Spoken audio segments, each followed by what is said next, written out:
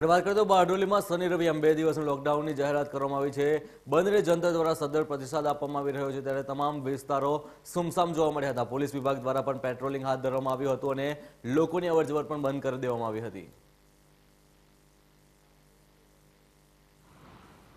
વધી રહેલા સંક્રમણને પગલે પ્રાંત અધિકારી દ્વારા બે દિવસ માટે લોકડાઉન જાહેર કરવામાં આવ્યું છે. બારડોલી નગરને સંપૂર્ણપણે બંધ રાખવા માટેની જાહેરાત કરવામાં આવી છે. ત્યારે વાત કરીએ બારડોલી નગરની, તો આ જે આપ જોઈ રહ્યા છો, બારડોલી નગરનો મુખ્ય માર્ગ છે. તમામ દુકાનો બંધ જોવા મળી રહી છે. નગરના મુખ્ય દ્વાર જે છે, પ્રવેશ માટેના ત્યાં મુખ્ય દ્વાર પર પણ પોલીસ કર્મચારીઓને તૈનાત કરી દેવામાં આવ્યા છે.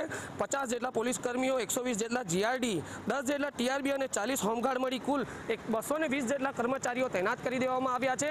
અને પ્રવેશ દ્વાર પર પોલીસ કર્મીઓ દ્વારા નગરની અંદર લોકોને આવવા માટે અટકાવી દેવામાં આવ્યા છે. અને તમામ દુકાનો આપ જોઈ રહ્યા છો કે બંધ જોવા મળી રહી છે. અને લોકો પણ આ જે બંધનું એલાન છે તેમાં જોડાયા છે. અને સારો એવો પ્રતિસાદ નગરની અંદર જોવા મળી રહ્યો છે. મેહુલ ગોસ્વામી, ઇન્ડિયા